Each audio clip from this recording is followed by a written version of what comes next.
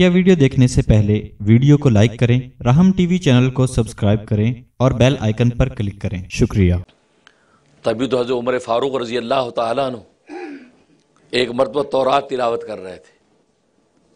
रसूलुल्लाह सल्लल्लाहु से निकले, देखा, उमर, क्या पढ़ते हो? कहा कि, ए अल्लाह के हबीब, मैं तौरात पढ़ रहा हूँ।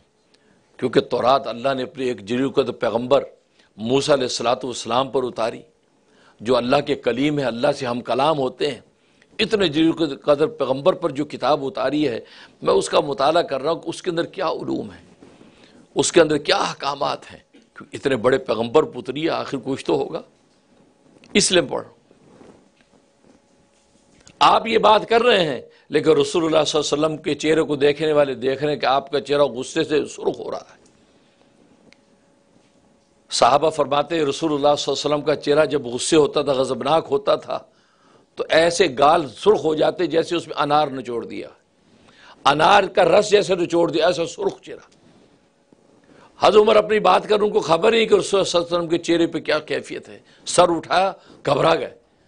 रसूल वल्लजी नफसी बियदी, कसम उस की जिसके कब्ज़ा कुदरत में मेरी जान है अगर आज मूसा सलाम ज़िंदा होकर आ जाएँ, उनको भी मेरी पैरवी किए बगैर कोई चारा कार नहीं जिस पैगंबर को इतना ज़ीरो कदर पैगंबर तो कह रहा है, वो मेरे ज़माने में अगर आ जाए तो वो मेरी पैरवी करेगा।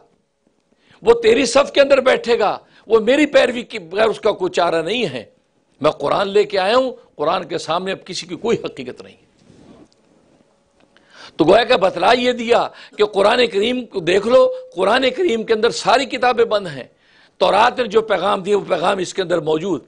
ज़बूर ने जो पैगाम दिए ज़बूर के पैगाम इसके अंदर मौजूद। तौरात अकेली पढ़ने की ज़रूरत नहीं, ज़बूर पढ़ने की ज़रूरत नहीं, क्योंकि इसी कुरान ने खबर दे दी है कि उस तौरात के अंदर तारीफ़ कर ली है। उसको बदल दिया है, उसके अकाम चेंज कर दिए है, इधर से उधर कर दिए है। अब अगर आप डायरेक्ट तौरात इंजील पढ़ने लगेंगे तो आप गुमराह हो जाएँगे। आपको क्या खबर? कौन सा हुक्म? कहाँ से कहाँ बदल दिया? हाँ जब कुरान करीम पढ़ोगे तो कुरान करीम उसके उन्हीं उलूम की खबर देगा जो सच्चे और हक उलूम थे, जो आसमानों से अल्लाह तबारक वतार किताब में उतारे थे।